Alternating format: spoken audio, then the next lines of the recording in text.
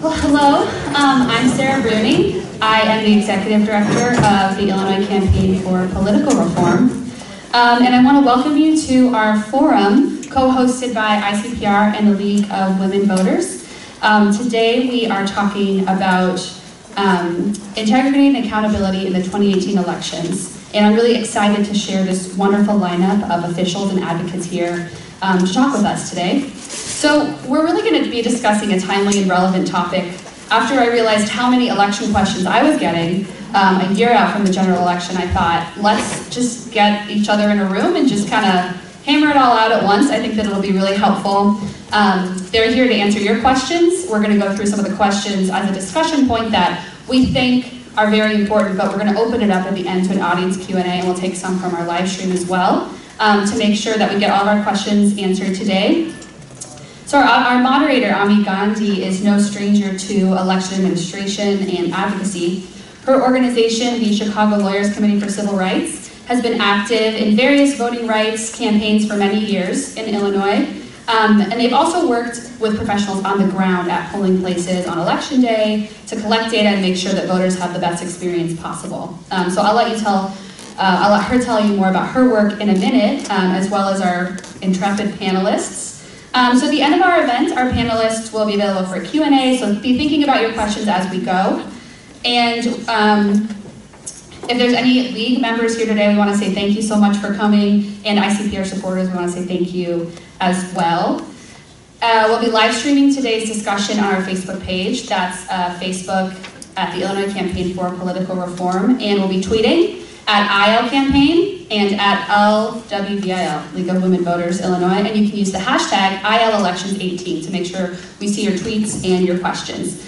And you'll find um, event evaluation cards in your program. It's really helpful for us if you fill those out and let us know what you think, um, just to give us some feedback and make sure that all of our future events are as perfect as possible. So without further ado, I want to invite Ami Gandhi to start our program. Thank you so much.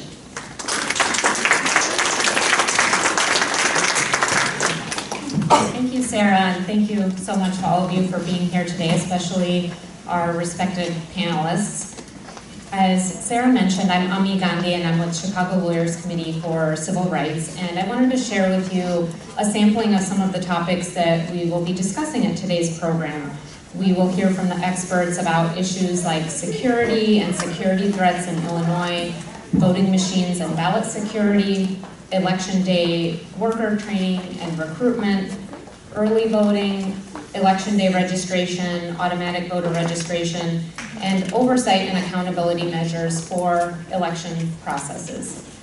The, I know I threw out a whole lot of terms just now, and the, I wanted to say also that the real life impact of these processes and of election administration really cannot be overstated. For a lot of voters, it can make the difference between whether we have the ability to vote or not. And the national context is that in recent years there has been a resurgence of restrictive voting laws across the country, some of them coming after the 2013 Supreme Court decision that gutted the Voting Rights Act, some of the voting restrictions coming with the changes in Department of Justice enforcement in this current presidential administration, some of the national conversations about whether uh, what the incidence is of voter fraud, for example, and the establishment of the Presidential Advisory Commission on Election Integrity, just to name a few of the recent developments that have changed the voting landscape across the country.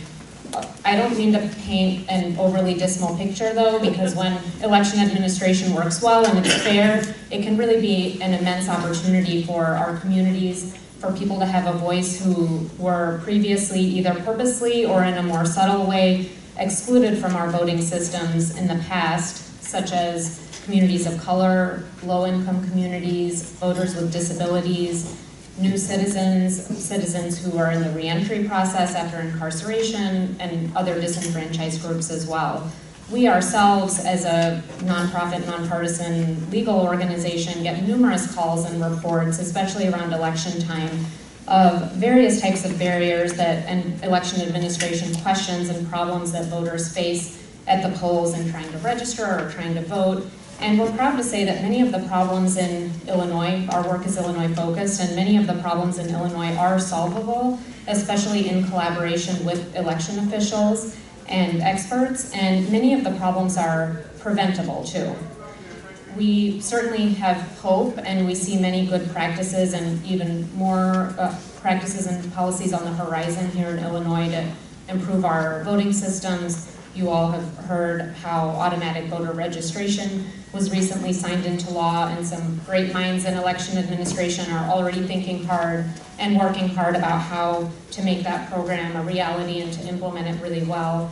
And there are some excellent practices in place in various parts of Illinois in terms of really hearing and incorporating input from voters, from all of us voters, whether it's managing the flow of voters who need to update their registration ahead of time or at the polls, language access to the polls in some parts of the state, guarding against electioneering and so on. We have some really um, solid practices in place in parts of Illinois where election authorities are taking seriously the concerns of voters. So with that, I, we want to spend most of our time really hearing from the experts here. And I want to ask each panelist to introduce yourself briefly, say, please share your name and your institution and um, anything else to set up your remarks. Keep it to about a minute, please. Thank you. Well, I've never kept anything to a minute. But uh, first off, I want to thank Sarah Brune. She puts together this event uh, really exceptionally well.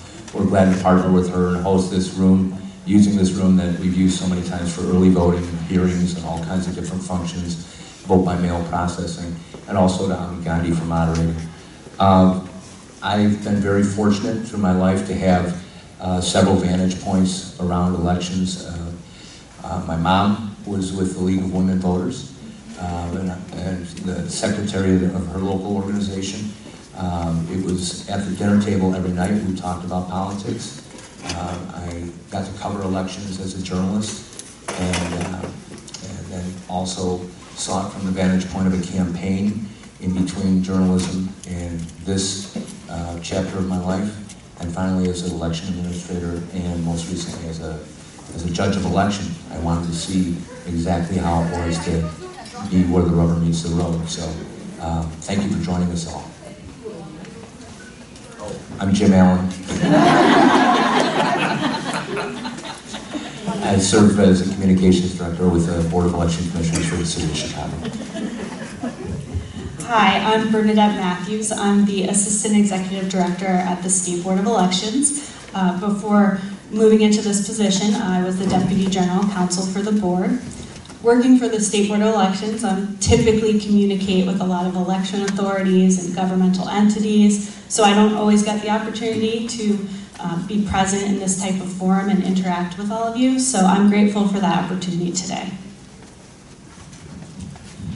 Thank you all. My name is Scott Erickson. I'm the Knox County Clerk from Galesburg, Illinois. I also am uh, honored to be the president of the Illinois County Clerks and Recorders Association this year.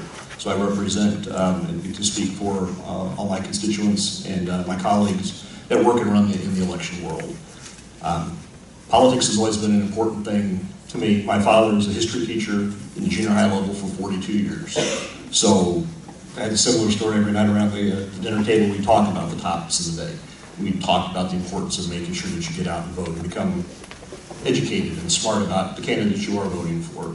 So I, that was instilled in me at a young age, and I've worked to instill it in my uh, children at a young age, and hope that uh, we're able to continue on and be able to expand that, uh, that knowledge.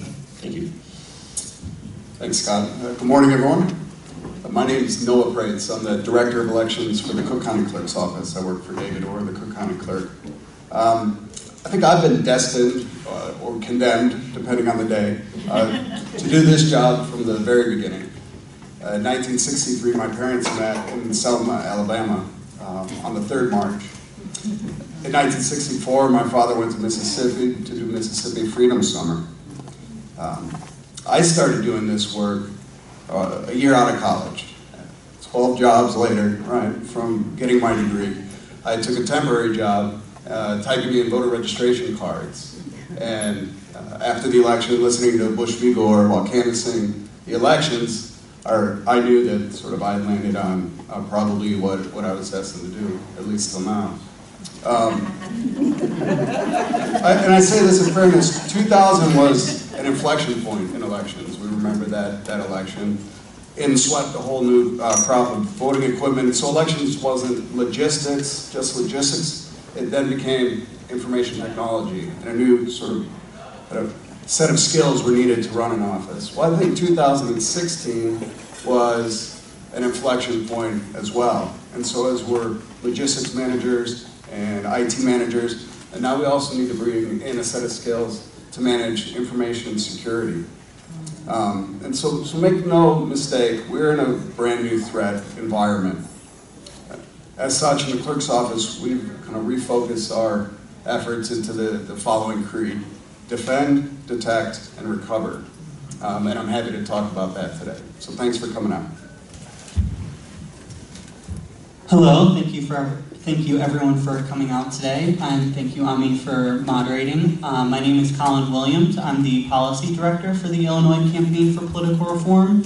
So I help uh, ICPR do research on policy and identify key aspects of our elections administration that um, are important and may be overlooked um, in making uh, elections secure and accessible for the voters of Illinois. Um, and as uh, in my role uh, in ICPR, uh, I really look forward to and embrace any opportunity that uh, we get to uh, collaborate with election administrators like we have on our panel today and voter advocates um, like Ami. And so uh, I'm happy to be here uh, talking about election administration from the point of um, ICPR and trying to um, figure out what the best practices are to make sure that everyone who is eligible to vote is able to vote um, in 2018 and beyond. Thank you, everyone. We have a lot of exciting questions for today, so I'm going to ask if one or two panelists want to respond to each question that would be helpful to get us going. And let's keep it conversational and please jump in when you would like to say something. I know these are all issues that we all care about deeply and, and know a lot about. I'd like to hear from one or two of you, what do you think is the biggest public misconception about election security or integrity? It's your chance to correct it. Well, I would say that um, two of them that had emerged after the 2016 election, and I, I agree with with uh, my colleague, Mr. Praetz, that uh, 2000 was a watershed moment that led to the new equipment. And our big security concern after that event was trying to um, uh, undo the damage of undervotes and overvotes, and uh, the swinging, hanging, pregnant chads, all the things your mother worried about, you know, hanging, swinging, and pregnant, and being able to determine the voter's intent. And that was what that transition was all about. And now we've, we've we're trying to embrace uh, all kinds of different uh, real threats. Um, but there are also some uh, bogus threats that are circulating that are being perceived as real. One of them is double voting, one of them is non-citizen voting. We can provide anybody who wants it a list of every single person who cast a ballot. Um, and if you know of, of these millions of non-citizens who allegedly voted, we would be the first to take action, and we'd love for you to identify those. So uh, we've seen that. Those are the two biggest items that I think are the mis- public misperceptions about uh, election security and integrity. Thank you so much, Jim. Does anyone else want to chime in? Does that sound similar to what other election administrators have heard or would like to correct today? Well, you know, I'll, I'll just tag on. Um, so I've had the, the sort of good fortune of traveling uh, recently, working with um, Homeland Security, uh, the FBI, um, and a lot of my colleagues from around the country. You know, Jeh Johnson last uh, January deemed um, elections as critical infrastructure. And with that, it set up a whole spiraling set of events, um, one of which was a requirement that that we come together as a community of administrators and form what's called a government coordinating council. And that council has been uh, sort of spinning up for the last uh, six months and just kicked off last week. And on this are secretaries of state and uh, state election directors and local election officials, the Home- Department of Homeland Security, EAC. And, and through that process, um, as well as participating in, uh, as a board member of the International Association of Government Officials and as the uh, kind of cyber panel um, co-chair with the Election Center, uh, Republican, Democrat, I know uh, hundreds of election officials around the country, and they are all very dedicated to making sure that we solve this problem and all the problems. One of the, one of the concerns I have is um, that there are real threats, and to handle them appropriately, we must do so with um, reason and sobriety. And one of the big challenges is um, a significant amount of hyperbole that exists in, uh, in our business. And whether that's from uh, one far extreme or another, it makes the, the job of actually solving these problems uh, particularly difficult. So I would just challenge everybody in this room when they go back and think about their, their notions of what, what's occurring. Um, look inside for a little bit of grace, and I think if we start with the assumption, by and large, that, that most of us are dedicated to the idea of getting this right, um, no matter where we come from on the political spectrum, then you're going to set up an environment where we're able to share the information necessary uh, to do that. Thank you. Could you talk a a bit more just for a moment? You talked about things that aren't as large of problems as people may discuss in the public, and then at the same time, there are some genuine issues and threats that do need to be addressed. So can you talk a little bit about what you see as the biggest challenge to ensuring secure, fair, and open elections? Sure. Um, well, I'll try and hit it from, from both sides, but, um, you know, fraud does occur, right? It, it's small, it's isolated, right? We want to attack it with a surgical instrument and not a, a hammer. Um, but it is tough when you hear things like you've got a better chance of getting struck by lightning, right? Because half of our population just rolls their eyes at that. That's not conducive to us getting to a place where we can convince them that it's small, it's rare, and it can be attacked with a surgical instrument and not a hammer. So, you know, it's important that I think we're, we're sort of honest about things on that side. On, on the other side, um, you know, there are absolutely impacts of restrictive voter ID laws. The idea that everybody carries one is simply false. And the idea that it is required to ensure um, election integrity is absolutely false. And so, you know, both sides need to sort of be honest about the level of the problem and the surgical uh, tools available to, to cut it out. If we do that, we create an environment in which we can work together, pass sensible things like AVR, which really can get to the heart of, um, you know, our voter registration list problems. Get together and do things like ERIC, which really can get to the heart of our registration problems. You know, ERIC is a vastly superior uh, tool to, to cross-check, right? So I know cross-checks in the news a lot lately. We're in ERIC, that's great. We need to get all those states around us to get into ERIC. Indiana, Kentucky, Missouri, Iowa, right? All voter ID states proclaiming concerns about the voter registration rolls, yet not in ERIC, right? So there are tools available, effective tools, that we can use to get to the heart of our problems. Um, I would just encourage us to spend some of our times with our friends, our colleagues in those states, and get them to join the tool that really works. Can you briefly say what ERIC is for those who Oh, don't know? I'm sorry. And then we'll turn it over to another panelist. Yeah, ERIC is the Electronic Registration Information Center. It's a group of states, I think there are 21 of us now, where we share a bunch of information. We share our uh, motor vehicles list, our voter registration list, and in Illinois, a lot of our, um, uh, our licensing and uh, health agencies also share their list. We Put it all in a mixer, use a really good matching algorithm, and then they tell us, hey, you know, these 10,000 people have registered to vote in another state, right? And we've got a four-point data match on them, not these two-point data matches that you might get a cross-check, okay? They'll also tell you, these 10,000 people live in your town right now, and they're not registered. You need to reach out to them and try and get it registered, okay?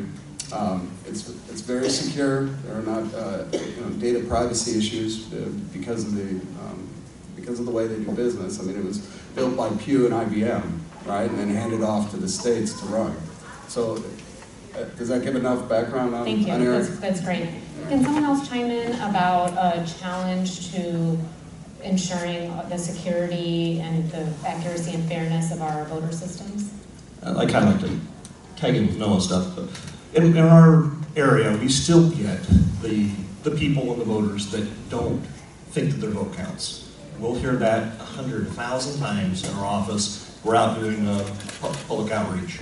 That are, why should I go to election day if my vote doesn't count? I'm just one of these, no one cares, da da da. The whole the litany of excuses and things of why they think that their vote doesn't count. And that misconception, I think, keeps some people from taking that, making that effort to go out and, and get their votes counted. We have elections, our, my jurisdiction is a fairly small Midwestern jurisdiction. And even in these last few elections, we have had municipal elections that were complete and total ties after all the ballots were counted, absentees, everything was done, complete and total ties. So these elected officials were decided by the flip of a coin and elected draw. We drew ping pong balls out of a number of ping pong balls out of a ping pong ball cage to determine who was going to represent these communities on their governing bodies. That's kind of crazy. That we shouldn't have to decide who's going to lead our people in, and make decisions for these communities by the choice of luck of the draw of a ping pong ball. So we strongly encourage and try to get out on the front side of the public relations aspect to make sure that voters know that your vote counts, even if you don't think it counts, even if you're just one vote, and you're the only one that votes against that option, that, that topic, or votes for that particular candidate, that vote still is important, that vote still counts.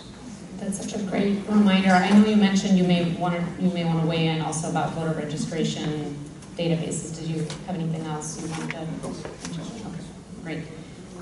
Can anyone speak to what you see as the main threats for hacking or for insecurity of our voter information, especially as we get closer and closer to the 2018 primary elections? Sure. Um, I think um, the hacking threats are, are real. I saw, uh, I think many of you saw um, some of the expo at DEF CON, uh, which is a, basically a hackers convention in Las Vegas, where they picked various pieces of equipment apart and uh, were able to manipulate items. Now, you know, some of the, the defense that was thrown up immediately was that, well, a lot of these systems aren't in use anymore, this and that. But they, they point out the, the vulnerabilities in the systems. But I do want to point out that there is one security that we do have, uh, at least in Illinois, um, and one that um, experts, uh, that would, greater minds than mine, and that's paper. Uh, paper is a, a wonderful, wonderful safety net um, protection. Um, Illinois, all systems are required to have a paper trail for every single ballot cast. Uh, there are other states that uh, it's hard to believe don't. Uh, if something happens to that piece of voting equipment, I don't know what you do to recover those votes. It's a, it's a nightmare scenario. Um, but I've given to Sarah with uh, the Illinois campaign some information. Uh, there's a, a great video from one of the best minds in computer se- security and especially encryption. His name is Professor Ron Rivest. In fact, he's one of the developers of the predominant uh, systems of encryption. And he speaks at length in this video that I shared with uh, Sarah, who been tweeted out, um, uh, about uh, the virtues of paper and the value of paper and the threats that we, we face uh, with the prospect of internet voting, which he calls an absolute nightmare. Um, and, I, and, and even though the video is from 2012, I checked with him recently if, his, if all of his points are still, if he holds those true, and he said yes, absolutely. Um, I think some of the bigger hacks that we're seeing are, are in our entire voting ecosystem. And it's, is troubling when you have big money and dark money and essentially secretive money. Um, foreign sources can now uh, easily uh, manipulate our public, our voters. Um, it- it's happening not only in the United States, but also Germany. We saw it in Great Britain. We've seen it recently in Catalonia, where uh, Kremlin propaganda basically gets spread by uh, unsuspecting people uh, as if it were real news. Uh, and, and real manipulation is occurring. We're seeing, um, um, we need uh, a better um, system somehow of regulating that money that goes to uh, these viral systems like, like Facebook and Twitter. Um, but we also need some kind of trusted person, a, a Walter Cronkite of sorts, who can tell us that these sources of news are legit and they're trying their best to get it right. Uh, I think those are some of the things that are, are even bigger threats than anything we can talk about with, uh, with voting systems because we have divergent sets of facts and you can't have different sets of facts. It's just impossible. But uh, that's one of the things that I find troubling right now. I'm wondering, Bernadette, if you or Colin have thoughts either about the threats of hacking or the broad definition of hacking that Jim gave or other challenges to our voting systems. Yeah, I think that with the hacking threats that are out there now, one of the big challenges in general is defining what hacking is. It's all different types of things and it's coming at all different levels of government. So a big thing that I think we need to do across governmental levels is communicate. I think that different states who have experienced different situations need to communicate with us. Different levels within a state need to communicate. The federal government needs to help aid in communication because once you have that sort of data sharing, I think it can start maybe pinpointing the credible threats in a way that we as the, the administrators of elections can then target those threats. And then once we know what to target, I do think that uh, funding is a big issue. I think that a lot of the, the funding necessary to really uh, attack the threats at the source is something that we need the majority of the money for elections is actually spent at the local and county level. So I think that direct funding at those levels too would help in the future to counteract these types of threats. Yeah, and just going back to Jim's point about hacking, I think um, paper in terms of actual when actual election day, I'm worried that my vote isn't counting because it's being hacked away. I think the best single thing that we can do to um, allay some of those concerns is to have a paper trail. Now, that's not to say that it's the end all be all of that, but it's very important and um, it's one of the reasons our systems here in Illinois are more resilient than um, other completely um, electronic um, voting machines. Um, but then the other side of hacking that I don't think I heard brought up or really talked about is hacking in terms of voter information. And while uh, the voter information that uh, we have doesn't necessarily contain, um, say, social security numbers, it's still incredibly valuable. And we saw just last summer that um, the State Board of Elections was hacked and millions of voter registration um, files were um, compromised. And that information is important not just for uh, the integrity of ballots, but it's also valuable information for people who are potentially interested in swaying individual jurisdictions or precincts. Because if you know who has voted and you know uh, you know the makeup of the the, the jurisdictions and I mean, the more information you have, the more ability you are to um, have these social social hacking or social targeting schemes that um, are are prevalent in the news, and we're um, we're finding out more and more prevalent in the 2016 elections. So one thing that comes to mind here in Colin's remarks is that there are ways that the public is concerned about the security and privacy of our voter information in addition to being worried about hacking. Also, there have been renewed concerns about our information because of the activities of the Pence Kobach Voter Fraud Commission, as well as the recent local and state discussions about our information being in the cross-check system. Bernadette, if you can please speak to uh, from the, how the State Board of Elections has handled these concerns and what is it that we all should know about those types of threats to our information. Okay, um, specifically for the, the Kobach commission request, I'll just give a brief timeline. Uh, the board did receive an initial request for Illinois voter data, and at that time, the commission indicated that the information gathered would be made public. Therefore, the board denied that request per state statute. Electronic voter data maintained by the board is not accessible to the public.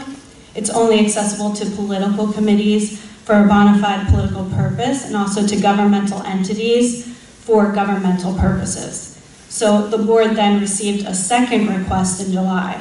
And in this request, it was indicated that the commission would keep the voter data confidential and secure, and that the data would be destroyed once the commission had completed its work. Um, the board considered that request, but sent a response back to the commission indicating that a clear governmental purpose is necessary for the data to be released, and also requesting payment of $500.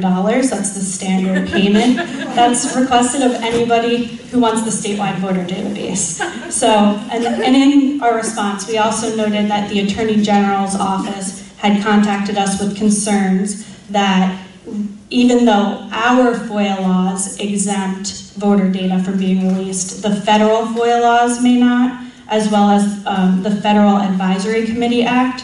So we expressed those concerns from the Attorney General's office in our response and requested further documentation to support the commission's uh, assertion that they're going to keep the data confidential. And to this date, we have yet to receive a response from the commission. Or a check. And we've been hearing reports as recently as this morning about it being unclear what the status of the commission is right now, the federal commission in terms of its activities or its momentum. And the, I believe that the federal GAO has announced that they will be investigating the commission. If any panelists have more updates or insights into that, I welcome you to share it as well. Well, as many of you already know, that uh, the head of the commission has been uh, sanctioned, to put it mildly, by the courts for um, providing bad information. Um, we know, uh, we can be informed from his history and in um, serving as the Secretary of State of Kansas that uh, we, we know one of his goals nationwide is to try to um, require people to provide proof of citizenship at time of registration. Um, he has fought as Secretary of State to become the only Secretary of State with prosecutorial powers. And since gaining those, he's found one case of voter fraud that he was able to prosecute. Um, but he's, he's attempted to do this with the National Voter Registration Act, commonly known as the Motor Voter uh, Act, the form. And uh, he managed to get that through uh, the EAC to get a modification to his state's form. So uh, we know from his past where he's going with this. And uh, I, I find it pretty galling uh, in the case of uh, my recently deceased father, the notion that I would try to have to find, uh, when he went into nursing home, that I would have to find a birth certificate for a Korean War veteran to make sure that he could vote after he moved from his home to his nursing home. I just, I just find some of these things um, beneath our country. Uh, the, all the advocates for voter ID tend to be the same people who also cite the founding fathers, and I wonder what kind of photographic ID they had in uh, 1782. So, Thank you, Jen, for sharing that story and story from your family. It really helps to hear that context. And one thing I'm thinking about that Noah had mentioned is that it's important to be fact-based in what we, we're discussing. And when we're resisting or responding, it's important to have facts in mind. I know I was uh, moved by State Board of Elections data published recently about what is the incidence of fraud. I don't know if Bernadette, you have that handy, or if others want to talk about the, the facts that we do have relating to the obviously very low incidence of voter fraud in Illinois. I remember seeing something in a state board publication about thousandths of a percent being at issue, uh, thousandths of a percent of votes being at issue. Yeah, basically that's correct. It, it's a very minimal amount, and that a lot of the the concerns that people relate to double voting um, on paper, it, it may look that way, but when you really delve deep down into it, uh, it might just be a situation where there's a father-son and, and they live at the same house and they go to vote on election day and maybe somebody gets marked down as under the wrong signature when you sign in. So it, the actual incident of double voting and voter fraud like that, that is actually reported and then prosecuted is very low within the state. Moving to a different topic, and again, getting closer to home, focusing on Illinois, we heard a lot of questions to our voter protection hotline and, and generally in news reports, questions and concerns that voters have about voting machines. And reports that some of the machines are very outdated, and I know there's also been some activity on the front of local election boards to try to address that. So please share with us updates that voters should know uh, about a certain local area or across the state relating to the, how current our voting machines are. Sure. Um, so we got all that money in uh, 2002 or three. Um, Three billion dollars were um, was in the bill, HAVA, and they've allocated something like 2.6 uh, billion of that. But that's all been spent long ago, except for in LA. Um, and they're still voting on an old on an old system. But anyway, we, we upgraded in 2005, and we're ready again. We're actually in the process of, of procuring new equipment, um, and it's a fortuitous time to be doing it. Not only because we can no longer sustain the old equipment as we can part, you know, take pieces out from old ones. I mean, we can hold it together for a few more years. But in this new threat environment, right, with Russians and North Koreans, Iranians, Chinese, uh, advanced persistent threats poking away at all of our networks. Um, you know, defend, detect, recover is important. And so defense is very important because you want to make it hard to do. But everybody who's tried has appeared to have failed to fully defend their systems. That's just the nature of cyber and the threat actors. I mean, look at Equifax recently. Their only job is to protect your PII, right? Credit history, and, and they failed. And they failed for a long time without knowing it. So what's critical after that is detect that they've been there and recover. And so this was mentioned earlier, and we always start at the end too.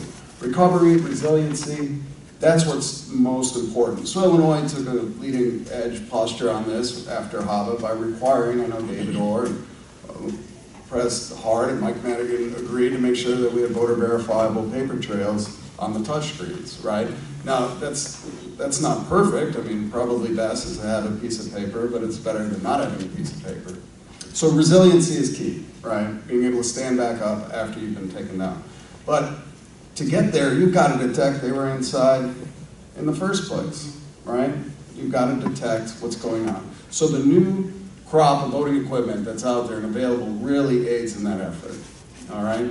So um, what we've asked for in our procurement process is, is a similar system to what we've had. Uh, most folks will get an optical scan ballot and vote it and throw it through a scanner. A lot of folks, uh, and those in early voting, will likely be voting on a touchscreen machine.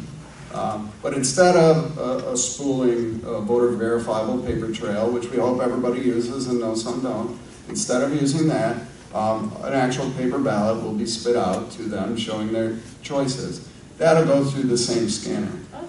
These scanners take PDF images of the ballots, right? Um, some of them in the market actually sort of randomly Bates stamp them, so you can always tie the cast vote record to the PDF image, you know, to the piece of paper. It makes the ability to audit, uh, potentially to publish, to really verify that the equipment is doing what you say it's doing, what you believe it's doing. It, you know, your ability to prove that up uh, is greatly increased with the new technology. Um, and so I don't know who's going to be our partner in this, but we're very excited about the, the new possibilities. One, we think it's going to be a better voter service, but from the ability to detect whether or not anything untoward's happened in the system, right? And you know the world we're in with the new threat actors, that it's possible. The 17 intelligence agencies uh, tell us it's possible. They say the threat is there. Threat is capability and intent. Those four countries I named absolutely have it. They're probably sort of potheads in basements all over this country that are poking around and have it. They've gotten into other systems. Why not? So we're excited about our ability to stand up a much more um, resilient, right, be able to recover, be able to detect, and be able to defend. And what about the, what is the statewide picture like? I'm wondering if Clerk Scott Erickson or others want to weigh in about how current our voting machines are. And I, I want to clarify too, that when we get calls or reports from voters over the phone or in person, sometimes they are about the types of issues that Noah described, and sometimes they are a lot more basic, for lack of a better term. And voters tell us, for example, I tried to submit my ballot and there seemed to be an issue with the machine that scans the ballot and then I had to keep my ballot on the side. Uh, and the election judge said they would take care of it later and it made people feel uncomfortable and they asked us, is this normal? Is this suspicious? Should I not go to the polls anymore? Sometimes it's those types of questions that we receive as well at a more basic level. Absolutely. Um, we all, as election officials, deal with our, their equipment and equipment issues. And with anything technology-wise, things are going to have issues and break. Uh, with optical scan and paper ballots, they're all reading those ovals or the arrows that you filled in through an optic lens. Things happen if the machines aren't properly maintained, um, kept current. The, the optical scanner sees it an error, it will reject that ballot back when there truly may not be an error there. The, uh, the, the rejection piece of that uh, equipment is a voter safety piece to make sure that they're trying to keep from oh, having votes spoiled because they accidentally voted for two races when they should have voted, two candidates when they should have voted for one candidate. So a lot of times those issues uh, pop up. We transport our machines to our polling locations. As you transport the equipment, it gets jostled. Everything's in our, uh, our jurisdictions are tested to make sure that everything is safe and accurate before we leave our, our control. Once they go to the polling places, climate can be different. It could be, if it's a very cold uh, March primary day, the machines could be very, very cold. You touch on the electronic touchscreen machines, it could take them a few minutes to warm themselves up, just like you've left your computer out in the car all night long. Laptops can take a while to get everything going. And we, we field questions and calls of that as well. Uh, the judges' uh, training that we give to our election officials in the field is their set protocols of how they handle situations and circumstances. If that ballot is rejected back, how do you handle that to make sure that the voter uh, ballot privacy is secure? We have paper covers that can go over those ballots to that the judges can place over that ballot. Make sure that the votes are safe. The judge can find out what the issue is. The machine usually tell them it's an overvote. It was an undervote. It was whatever the issue was. They can try to address that, and that ballot secrecy is still safe and secure. Usually when those incidents happen, we do get phone calls in the office as well. Hey, this happened, the ballot kicked back. What, what was I supposed to do? Did my ballot actually count? And we can tell you, yes, it did count. There's just the safety features that are placed into that. And um, my jurisdiction is one that really has embraced the electronic voting. Um, our electronic touchscreen machines have gone over very, very well. Um, the, the voter verifiable paper trail is the, the linchpin of that whole operation. If that piece wasn't in place, there's no way that I'd feel comfortable placing those machines out in an election. Being able to rebuild an election, if something went completely catastrophic and we lost everything, we'd still be able to rebuild that election with the paper ballots that went through our optical scan machines and the verifiable, voter verifiable paper trail for our touchscreen devices. It would take us a while to rebuild, but we still have the ability to rebuild that election and, and feel confident that those results are accurate and secure. Voters ask questions, especially when the equipment first came out. What's this? They wanted to take the paper out of the verifiable paper trail. I want my receipt. We don't have this. This is how it works. Once they understood the process and the protocols of it, they grasped the concept. They liked it a lot. Um, all elderly population seemed to be a little more resistant to it. So we would take the time to walk them through if they were in for an early voting. We'd walk them through the process here's what you're going to experience, here's how you go, and we're only, a, uh, we're only 50 feet away from you. If you've got a problem, holler, we can help you. And I had an election judge that was, was an elderly lady. Wanted to vote. I'm gonna try that new, newfangled touchscreen machine you got there. Okay. She didn't want me to get more than five feet away from her while she was voting her ballot. I'm, I'm covering my eyes and doing everything I can to stay away from her while she's voting, to make sure that she still feels comfortable and I'm still not jeopardizing her ballot secrecy. Finishes that ballot, her ballot card pops out, she comes back to me and I'm waiting for it. I'm waiting for her to yell and scream at me that this newfangled stuff is nothing but garbage. She takes a deep breath, looks at me and goes, that wasn't that bad. It's a great story, and you talked a couple times about the important role of election judges and poll workers in communicating this information to our community members and our voters. If, if you have a burning desire to mention something really quickly about the voting machines, please go for it, and then I'd like to change the topic to talking about election judges. Sure. Um, I think both the clerk's office and- and our office are looking at new equipment because um, I would describe the status of our equipment as brittle but not broken. We've been through uh, the white hot test of of recounts where you have to go through every single ballot. Uh, Ironically, uh, Will Guzzardi was running against uh, Antoinette Berrios. Um, Lost the first time in the primary by 121 votes. We went through it, and we found one more vote for him, one more vote for her, where the person had, one person had underlined all the names instead of connecting the arrow. Another person had circled the names instead of connecting the little arrow. But the integrity of the system uh, ultimately shone through. And then two years later, the two same candidates ran against each other. It was close again, and he won. And uh, we went through a little bit of the recount process. And, uh, you know, the, the system has held up when it's put through uh, that hardest of tests. Um, But we, we want to get it right. Um, In truth, all election officials pray to get it right and pray for distance between number one and number two. We don't care who wins, but distance is great. When it's not there, we go to that paper trail and uh, we try to be uh, uh, fair arbiters. But going back to what uh, we want to pursue, um, not just audits after the election, but something a little more precise and surgical, um, such as risk limiting audits. Um, and the, the idea of the scanned image of every single ballot, that would open the door to the possibility that we could publish and let everyone, if they wanted to, go through a hundred percent audit and look at the images and, and what the logic of the scanner did uh, on each and every ballot to see whether it determined properly that this half-marked oval uh, should have counted for which candidate, you know. So. I was going to say it was good to hear about a smooth recount story. That, that was a relief.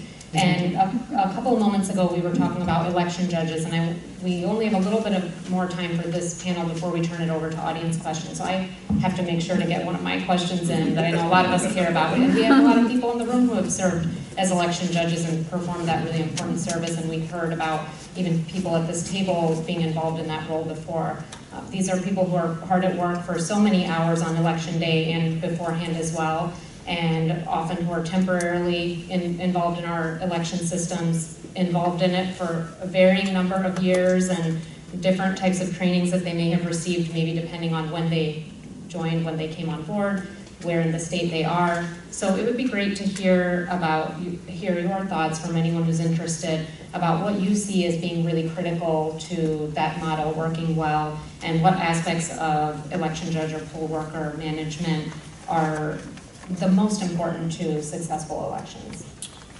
I'll just in uh, one point. You know, I made a comment earlier about uh, election administrators being sort of IT logistics specialists and, um, and now information security specialists. But the truth is, election judges are counselors and lawyers. And then after 2000, we asked them to be IT specialists and set up all this equipment. It made it quite a burdensome job.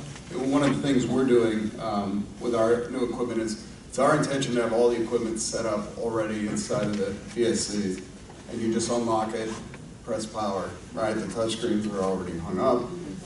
The judges don't have to do anything. We can go back to focusing them on administering the election laws, um, and that's it, right?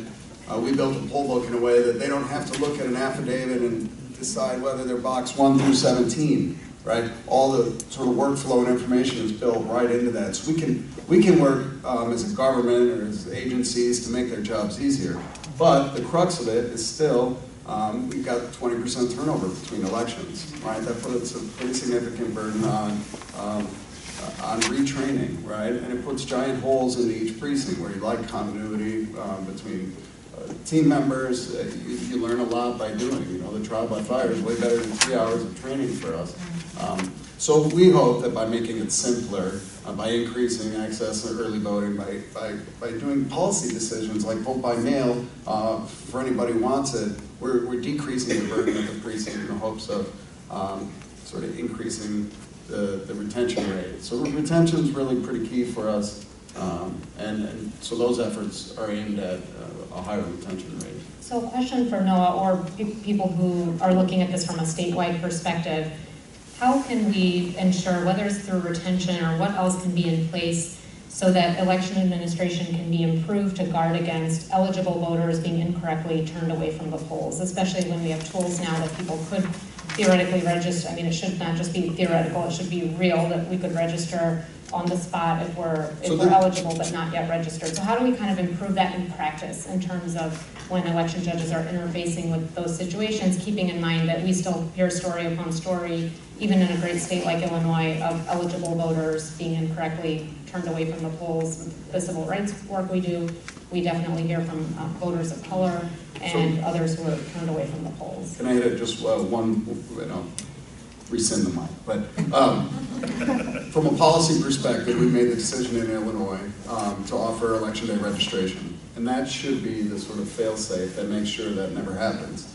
Uh, And by the way, from a sort of national security or protecting the election perspective, it's a huge win. We talked about resiliency. Okay, it's not just voting equipment that's a target. We've got a bunch of systems, right? Voter registration systems are one of them.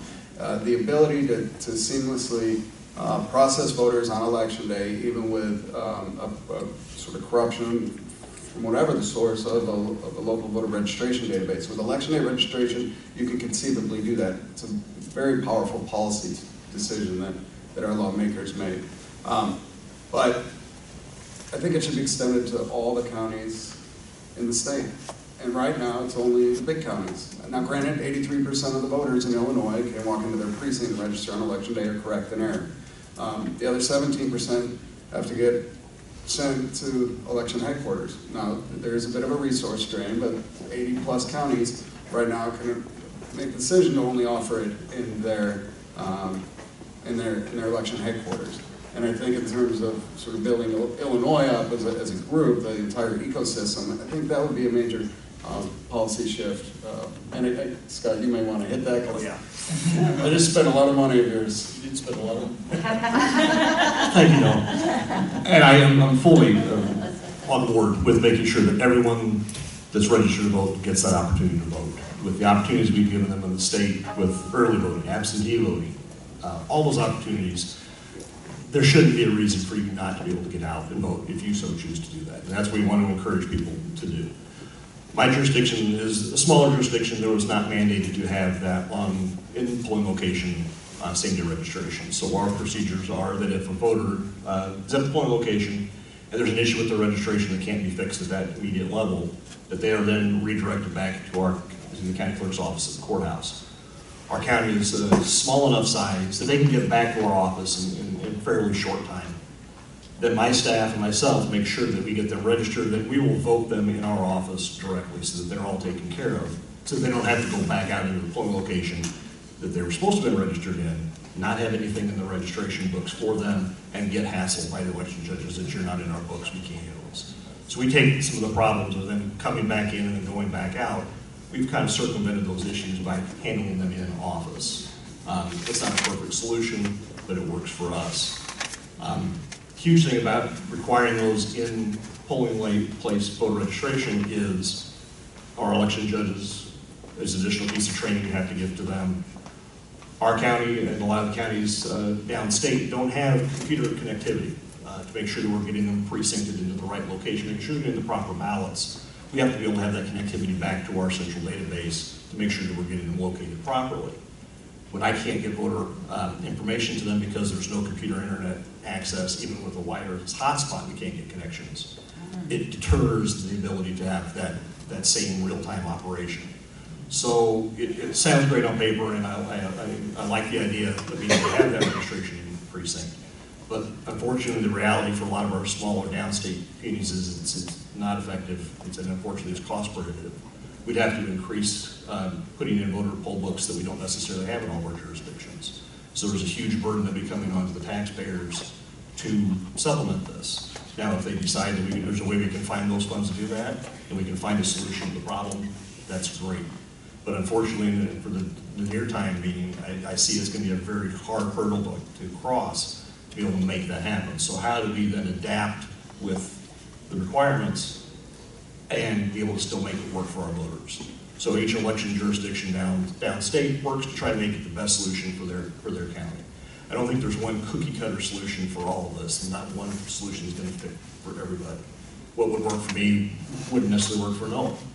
He's got, a he's got ten times the voters, registered voters that I have. What works for me may not work for one of our smaller, smaller counties, even smaller than mine, that only may have three or four hundred registered voters. Um, the economy of scale is just, it's crazy about how we go from small to, to large. So it's a huge issue to try to work with. But I know I can speak for all the other, the election officials that if they don't have the ability to do that in precinct, they are working hard to make sure that the burden is reduced as much as they can since those voters are eligible and taken care of. Thank you. We have a lot of exciting questions coming soon from the audience. And so uh, at this time, I'll turn it over to Sarah. Thank you. Um, first of all, I just want to say thank you to the Chicago Board of Elections for hosting us today. I'll just give them a round of applause. They let us in to ask them all of our questions. Um, so I want to start with a question from our live stream. And this is from Susan Gallagher, and um, she had a question about election judges. So she said in her area, um, the shifts for election judges are the entire day, which she thinks would be easier to do a half day um, or a part of the day, and she just wondered why this choice is made and if you guys have thought about that. So one is we're driven entirely by statute. Um, there's a point to having five judges and continuity uh, throughout the day to make choices to sign in the morning, that there were no votes to sign in the night, that they match up with the number of voters, uh, that you get an equal mix of um, Democrats or Republicans or, you know, three to two ideally. Um, so aside from that challenge, there's no question that the burden is biggest in the morning. Um, it would be uh, ideal in many ways to go from uh, five to three or, some, or something like that. It would certainly help with uh, retention. You know, we're considering things like um, uh, sweeping people in on it, in addition to the five, just to help out in the morning with these half-day shifts. We know it would help uh, people a lot. It's uh, certainly a great idea. Um, and I want to just encourage everyone to keep their questions one-part questions, okay? And we're going to try to get through as many as we can, and then I encourage our, encourage our panelists to do one to two person answering the question just so we can um, get through it quickly. Oh, you just burst my bubble. Four-part question. I have two. Um, you one, can I was told, oh, like, I'm sorry, Betty. Betty Magnus, Rainbow Push Coalition. I was told that we had cross-checked and processed before this new administration came out with their stupid letter and all that stuff. Uh, and that it was something that worked. My other question is, uh, provisional ballots. People think that their vote does, absolutely does not count if they do one. It does not appear that same-day registration solves that problem, because if I'm Betty Magnus and I've lived where I lived twenty-seven years, and I go to vote with no ID, uh, the only alternative, if I'm not on the books, is a provisional ballot, because I don't have ID to register same day. I'll answer your part about the pro- the provisional ballot. Uh, You are correct. We were assuming that once the same-day registration came through, that would dramatically reduce our uh, provisional balloting. And it has had a dramatic effect on that. We're able to solve a lot of those issues um, and take care of those beforehand. We would normally run on a, on a large election in my jurisdiction, we may have 50 to 75 provisional ballots. It's, it's a small number compared to a lot of other jurisdictions, but we, we could have that. The last few elections have seen the reduction in those numbers. Um, But we always do, when the voters come in, they're asking questions about those provisional ballots. We always encourage them to make sure they provide us with the documentation that's needed, whatever information triggered that provisional ballot, to make sure that everything's followed up with. And we're always open with them to make sure that if they've got questions, we're always happy to answer that for them. So we try to make sure that they do feel that their, their votes do count. If for some reason there was a problem with them, to be able to reach back out to them, let them know, you know, your vote wasn't able to be processed because of this particular reason. But now we fixed the problem for you, we've registered you now, you're able to be taken care of. For the cross-check question, so the state of Illinois entered into cross-check in 2010. At that point in time, that was, it was the new data sharing agreement among states to share voter data. Um, Since then, there's now the ERIC system. The ERIC system, it's a superior system in that it matches on more criteria. Therefore, you get an incident, a a lower incidence of false positive matches. Um, The, the issue with some of the states with ERIC is that not everyone's in it yet. A lot of our neighboring states are not yet in it. So right now, we're still in the cross-check.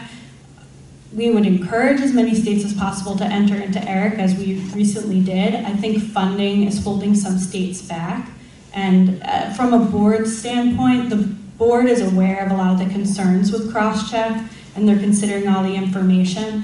And the board voted in 2010 to enter into cross-check, so at this point in time, in order to leave it, it would take a board vote. But they are aware of all the concerns with the program. Thank you. I know, it's Mary Jo Noonan, I'm Lyons Township Clerk, and I have my deputy clerk here. And also, I just paid my dues, you know, to the League of Women Voters. So we're all, we're all in this together. Right, and as you say, communication is the most important. Uh, Noah knows, David's always been responsive as uh, providing us with liaisons from the county. And We have the, uh, yeah, I guess, uh, the ear, Mary, you know, of David and everyone, but getting back with the youth, Noah, and I hire youth in the township, they are the best, and they are the ones who are always interested in voting, and the league goes out, drops off everything by the uh, township for registration, so they've done an excellent job you know, all the way around, Hinsdale, the Lyons Township, Nazareth, you know, all of our high schools. But you have to concentrate on the youth uh, to keep them inspired. I know they go off to college, but with the uh, voting now at 17, and then, you know, they can vote by 18, you know, current. So what I'm getting at is, split shifts was brought to my attention many years back right? And I see that, you know, you had gone out to the high schools spoke with, uh, you know, the principal, the counselors, uh, back and forth. I believe you have to have that good communication and continue with it. And the split shift, maybe there is an adult that does not want to, you know, participate, but I think it can, you know, consider that. If I may, um, we love having uh, young poll workers. We lead the nation on that front in Chicago. We are very fortunate to be able to do that because we have an organization called Mikva Challenge. They have a pipeline into all the high schools. So the, the younger poll workers tend to be more tech savvy. They, they're able to handle situations more smoothly. Uh, so we're with you there. Um, as far as split shifts, that, that would require a change in state law and quite honestly, a lot of changes in systems. I mean, what happens if the second shift doesn't show up? I mean, it, it raises a lot more questions than it does answers. Um, Heather Murdoch's League of Voters. Um, I guess I have more of a suggestion than a question. Um, I'm interested in uh, getting uh, people who leave prison uh, re-registered to vote in Illinois. Uh, we're better than most states. Um, frankly, though, uh, most people in the state tend to think that we have the same rules as other states, that these people can never vote again and all kinds of things. Um, so I have a question, uh, a suggestion. One is, um, do we have to take them off the voter rolls? Um, clearly, can't we put a little marker next to them the same way that we do for people who uh, register online or register with the motor voter who have to vote in person the first time that they vote. Um, can't we just put a marker saying they cannot vote absentee and therefore they've never left uh, the motor, the voter rolls at all because clearly they can't vote in person if they're in prison. Once you've moved to um, penitentiary, we can't predict what your next move is gonna be. So the answer to your question is no. Uh, We can't like put them in a holding uh, area of a database and, and know where, where they're gonna go after they've served their time. So, um, It's just a straight It's- it's- change of- change of address is what we're talking about, though. no, while you're incarcerated, serving a prison term for a felony, you're not allowed to vote. Right, but I'm just saying, if there were a marker in the database saying they have to vote in person, that's the equivalent of not allowing them to vote. So this is not an answer to your question. It's not on behalf of election administrators, but I do want to mention that our organization and other civic organizations are active on the issue of putting our heads together of how do we improve voter access for people who have interfaced with the criminal justice system, past and present. And I do want to mention it's important to get input from the people who are most directly affected, which I know is logistically and socially challenging when some people are incarcerated, there's going to be limited access, but there, believe it or not, there's a voting rights think tank in Stateville Prison. There are people even who can't vote right now, but who have really sharp policy ideas about how we could improve our systems going forward. And I think there's a lot of opportunity for improvement on this end if we work closely with election officials who know the details of the systems and the feasibility of implementing these ideas. I want to turn it back to Sarah. Um, yeah, I have one from online from Bonnie Cox from the League, who many of you know and love. Um, she says there are online voter service websites like ballotready.org, which I'm sure a lot of you have heard of, um, where voters may want to access in the ballot booth. Um, but we've learned that some jurisdictions prohibit cell phone use in the voting booth. Can you talk about the tension there between trying to protect security versus um, providing that information? Specifically Erickson, I suppose, we want to hear from. Oh, shit. If you don't mind. That was the bus that backed up over me. No. Sorry about it. No, with the technological advances, you're always able to take in a palm card or, or different things to be able to have, remember those candidates you wanted to vote for. Um, graduated political science degree, there's all the science behind the things, the last colors that you see on the campaign signs triggers a reminder that you're gonna vote for that candidate. There's all kinds of theories and things that are out there that, that do that. Now with the modern technology, like Sarah said, there's the ability to put those hand and palm cards now in an electronic format. The also then the issue becomes then what happens if you take that ballot, your electronic uh, device in, use that to vote, and then you take a picture of your ballot.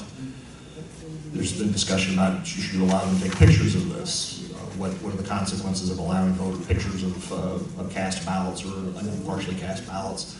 It adds a whole different dynamic to the situation. So a discussion about allowing candidate information to be able to be kept with that voter versus ballot integrity is a discussion we need to have. Yeah, and I- I'd love to piggyback there. There's a split in the courts right now as to whether or not um, there's a kind of protection for people to take a picture of their ballots, or whether in fact we want to maintain uh, integrity of voter secrecy um, uh, and prevent untoward influence um, by, by bosses um, or whatever. There's probably been a split on this table. Um, I know at the clerk's office, we're certainly very concerned with the idea of people taking pictures of a marked ballot. I mean, it's unnecessary, right? I think the Tribune said it's like a digital um, I voted sticker. Well, actually, a picture of your I voted sticker is a digital I voted sticker.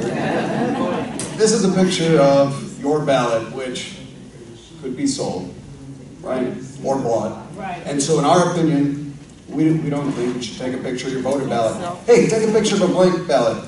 Pointing your favorite candidate. Well, I was Don't just mark gonna ask, I was just gonna ask, if, please provide some clarification and hope for people who like to document the exciting occasion somehow. That may not be the best way, and so if, if you can share a little bit about what is allowed, I know I've heard that from Jim before when people ask about selfies and let's, let's provide some ideas about alternatives instead of pictures of a completed ballot.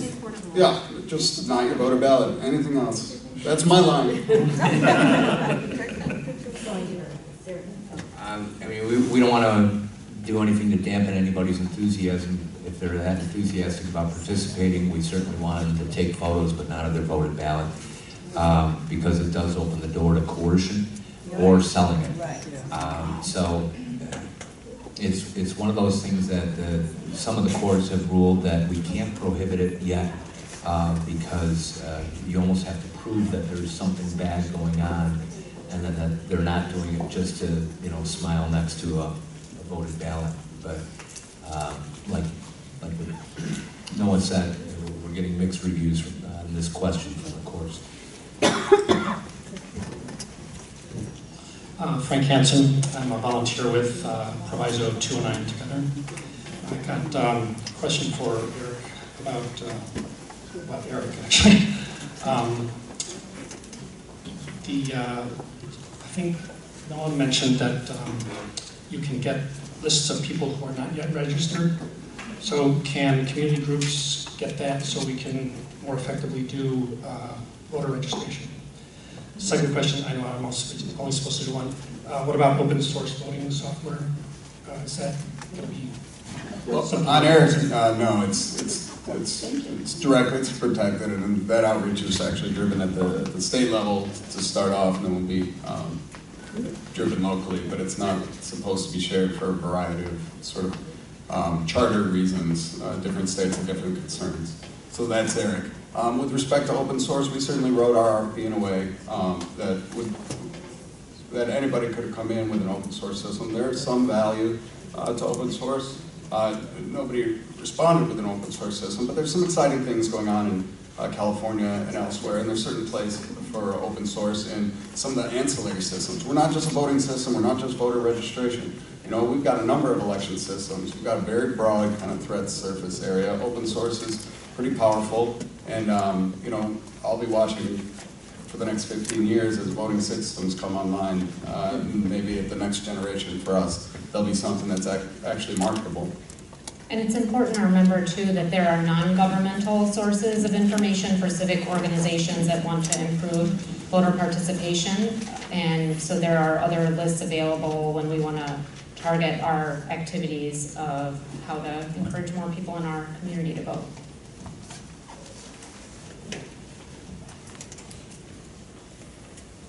Hi, Carol Maher, a proud Chicago Board of Elections election judge and election coordinator, several elections.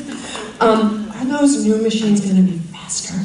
I work early voting, and the only reason there are lines is because those gosh darn machines are so slow because you can't skip over any particular race. So if they could be faster, it would be the bomb. Um, It was about nine years ago, I had a funny experience. We had a church group coming in, and they were all excited about the 2008 primary, and they were excited about one candidate in particular. And uh, this woman calls me over to her machine, so I stand on the opposite side of the machine, so I can't see how she's voted, and she says, "I'm done." And I said, "Well, you have to hit next." And she had already cast her ballot for this one particular candidate that she was very enthusiastic about, and she says, "No, I am done." So I had to coach her through hitting next, next, next, next, and then it had to give her a review, and then it had to give her a paper review, Oh, yeah. and that's the official record. Um, so she didn't have a whole lot of, but the, the fact of the matter is, we have to provide a review, a safeguard, so that you can go back and correct any mistakes first on the screen and then the paper record, you still can go back and make any corrections. So that's what we're with right now. Is it was intended to make sure that we captured the voters' intent. So Is that the aspect of the slowness that you were talking about? Yeah, is the next generation going to address that? It's not a technology question. It's a Ballot length. the length of our ballot. we No. we're stuck with 80 retention judges in the fall and and and probably 80 candidates for judges in the spring, and it's it's one of the longest ballots in the country. It's not that way in Knox County because they don't have all the circuit judges that we do, but it's that way in Cook and Chicago. So that's what we're stuck with, is that length of that ballot. There's, so, I think. I don't have an easy answer for that. Yeah. I, I wasn't sure if you were talking about e-poll books or other aspects of the No, I'm, I'm talking about Okay. Um, excuse me, wow. Josh Wager with Chicagoland Operator. So I grew up in a small rural county. I lived in Springfield for a while, now live in Will County. It's never taken me more than five minutes to vote. I mean, in the door and out the door. But I remember in 2014, I think it was, all these widespread reports of people in the in the urban areas having to wait two and three hours to vote. I had a coworker who told me she had to wait two hours to vote early, a couple weeks before the election. And I guess this is a widespread issue, and I know there's, I mean, like 101 problems we're talking about here, and it's overwhelming, but I mean, how could that, how did that happen, and is that, is that gonna continue happening? Because that could just distort the democratic outcome terribly to think, because people can't wait three hours to vote, I mean, that's, we gotta, we gotta do something, so I just. In 2014, that was our first rollout um, in Chicago with the uh, election day registration. So it was limited to uh, one site in particular out of the five that we offered um, that, you know, the- they never called for the cavalry. We would have sent the cavalry. We didn't even know until, um, you know, hours after uh, this was going on that they still had this long line at one in the morning. Here, we thought everything was shut down. We sent out the cavalry to one site. We got them finished at 11 o'clock at night, but that was our first time with election day registration. Last year, and that was with 5,000 people using election day registration. In the last year, in the uh, the election, the general election, the primary, we led the state with 30,000 people. It went without a hiccup. There weren't any uh, exceptionally long lines. Early voting, that's a, a function of whether, what kind of space we can get. And we're under scrutiny at a different level with the Justice Department on accessible sites.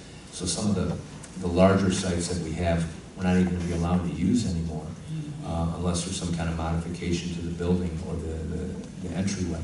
So uh, there are a number of issues um, that we have to confront. We opened a super site downtown, and we tried to encourage people to use that. We had 150 pieces of equipment at an old Walgreens, and people were in and out even on the Monday before Election Day. Chance the Rapper led a group through a, a, a, a parade of people, and we got the last one in the door without incident at 7:20 p.m., even though the line had wrapped all the way around three city blocks. Uh, I mean, it was there with me that night. So I wish the people would have left Belmont Library, taken a, a train downtown, and it would have been faster than waiting in that two-hour line. But early voting had two-hour lines this past I election. know. Yeah. It, it, it, there, there- it's a limit to the size of the rooms that we have. Yes, it is. And so we can put more machines out there. We can't put more machines than the room will fit, otherwise you're, you're violating the privacy of the voter, so. Right. We're limited on some of these spaces. I just wanted, in, in suburban Cook, um, those lines can flare up every now and then in early voting. Broad base absolutely don't exist. In fact, on our website, we publish a, a line length. So in our poll books, we built a, um, a little tool that captures the number of people in, in line. A little algorithm is uh, um, the actual processing number of people processed per minute. And we're uh, every 10 minutes updating wait times for all 53 of our sites. So we continue to um, expand. Uh, no lines like that. And it would be amazing if that kind of tool were in, in more places, and I think that kind of tool, along with the real-time community input about what the lines are like, could be very. Sure, and we capture line data uh, in the precinct, and nothing spiked over 10 in, in November, so. Um, Yeah, in the recent uh, Senate hearing, um, Alex Halderman from Michigan talked about all of the um, real vulnerabilities to our election machinery. And I know that the counties across Illinois got their money from HAVA and probably got uh, machines, you know, around 20, 2004, 2005. So they're all in need of replacement. Um, how many counties in Illinois are replacing their machines, Noah is and uh, the Chicago Board of Elections?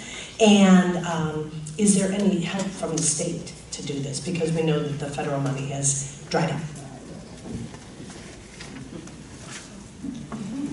I, I can speak for my jurisdiction, we do not have the resources to be able to replace our equipment. Now, like, um, I, I like the brittle but not broke, I like that uh, um, philosophy piece. The, the machines are showing age.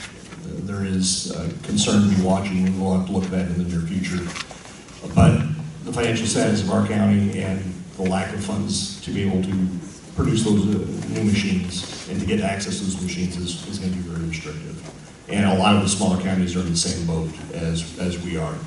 Um, the plus side, I guess if there is a plus side to that, is that as a smaller jurisdiction, the volume that's gone through those machines isn't quite as heavy as it is in the, in the more populous areas. So the, the, the lifespan can get, we can stretch that lifespan out a little bit longer. But the technology is still aging and is, I mean, your computer three years ago is now way out of dated. And now we're looking at, at ten plus years that these machines have been there. So there is, there is issues to, to And do you with. think that's true for most counties in Illinois? Uh, I I think the majority, I mean, I- uh, the majority of those uh, counties are probably not in a financial position to be able to look at getting new equipment. We're, we're not sure that we are. We're going through the RFP process, and right now there are questions as to whether or not we're gonna be able to secure the funding, or how soon, if we are going to. So, you know, we're not out of the woods yet. There's also, they, to be certified in the state of Illinois, there's a testing protocols that have to be put in place. So even if we did have funds available, sometimes the newest technology things take a while to get certified and be processed. So we could be running into issues with that as well. And that's a, um, you know, and I know it's an important thing to, to you and your group. Um, you know, we're putting forward a risk limiting audit bill, and it, that's a very good way of detection, uh, although it's a little obtuse um, to, to describe to folks. But what we do have right now um, is, a, is a set of audits. One that's really powerful, and that's the discovery recount or an actual recount. We've gone through 15. Um, and there you have interested parties, campaigns, looking at with their eyes, hash marking, um, their single contests, including a gubernatorial contest in the Republican uh, primary years ago, that was 106 votes. Um, looking down to the individual contest level, interested parties making hashes, uh, and nothing's gone to court, nothing's been overturned. So there are a couple tools there um, that, that are effective in uh, testing where we're at. You know, we've got a 5% retabulation. Now, that's not a very good um, kind of audit because what it was designed to do was to tell you if the equipment was acting as um, consistently, right? But if it's consistently wrong, then what are you testing? Um, but to the extent you dig in on the on the five percent, you know, you get a real good sense of, of accuracy, um, if not precision, because it's a it's a tool that's really a hammer and, not a um, sort of not a scalpel. So in any event, yeah, there are some things that, that I think we can do to increase the level of um, detection in the community, even if we can't boost defenses broad base. And so the risk limiting audit effort, I think, will be a good one. Okay, last question, we just have a minute.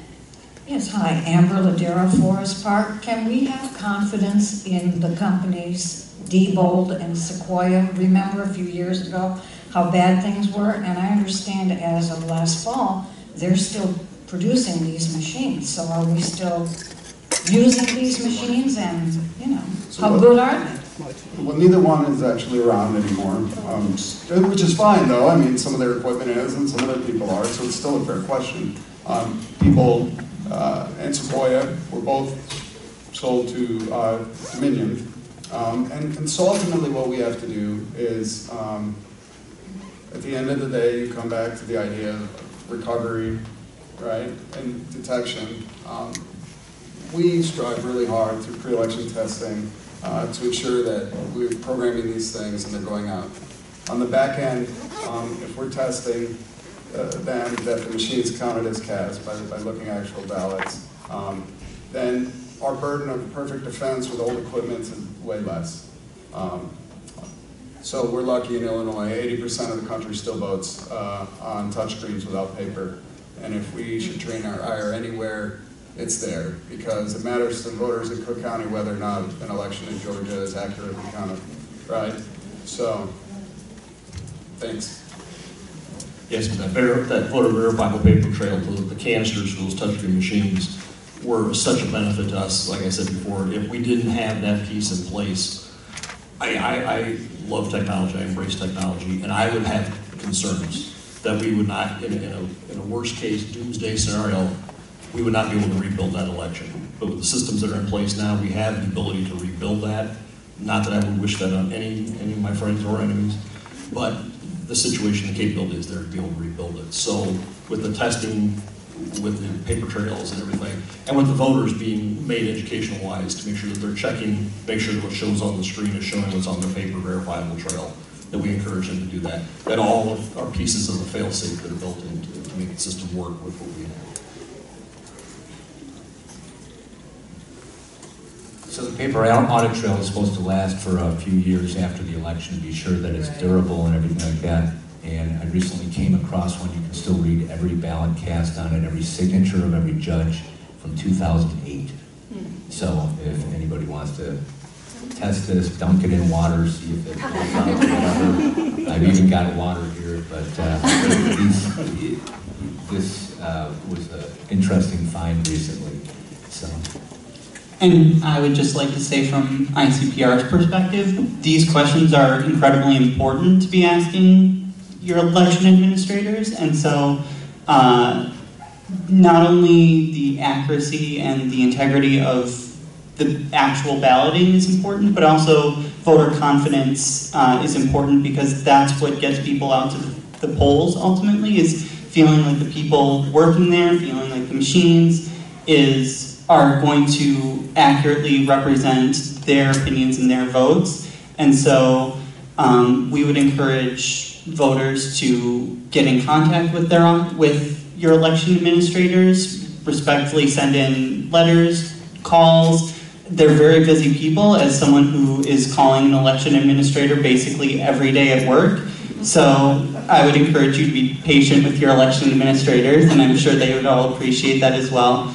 Um, and if you do have any questions or problems or feel like something's wrong, I would encourage you to, to talk with your local League of Women Voters, talk to ICPR, talk to uh, the Chicago Lawyers uh, Committee, um, because if there are issues and you don't feel confident in, uh, in your elections, we want to make sure that your vote's being counted, and there are organizations out there that uh, want to make sure that the elections as a whole are worthy of, voting, of voter confidence, and we work with um, both voters and election administrators to make sure that happens. I couldn't agree more with what Colin said, and I'll just end on the note of that that communication is really key between election officials and voters, and one very concrete opportunity for all of us as community members and voters to give input is actually relating to the newly passed law of automatic voter registration, and the State Board of Elections is holding a hearing on that topic to get community input on the morning of November 20th. And people should see Bernadette if they have any questions about how to participate in that. Thank you, everyone, for a great discussion today.